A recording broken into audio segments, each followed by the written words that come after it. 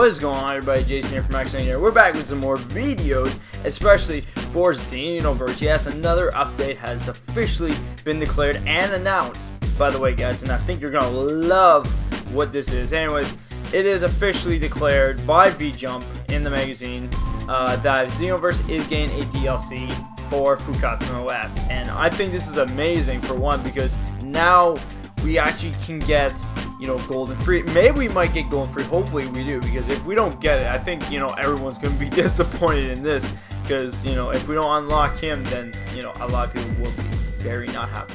But, uh, anyways, yes, they announced that Fukkatsu Life will be for Xenoverse. I can't wait to see what's going to happen for it.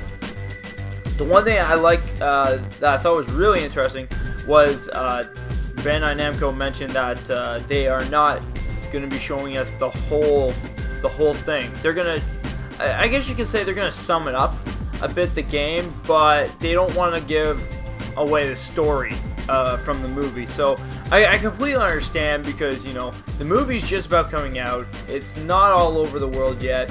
Like even for North America, like myself, I'm from Canada, and uh, you know it's coming out in summer. So you know if it comes out very soon, because the DL the second DLC is coming out very soon, and if we get like in a week or two afterwards, which I forgot to mention by the way, uh, it is the third DLC by the way. So after the second pack, which is GT, more stuff for GT.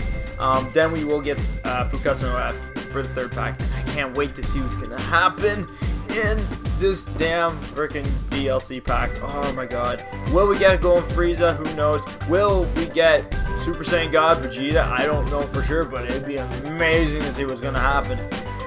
Who knows? Maybe there's some other form or something that we don't know about no F yet. Who knows? But anyways, guys, that's it for now. Hope you guys enjoyed the update. Don't forget to spread the word. Don't forget to let everybody know about the video. Share the video. Let people know what's going on. And I'll see you guys in the next update. Don't forget to please subscribe for more updates on DBZ, no F, and Xenoverse as well. Peace out, everybody. Have a great day.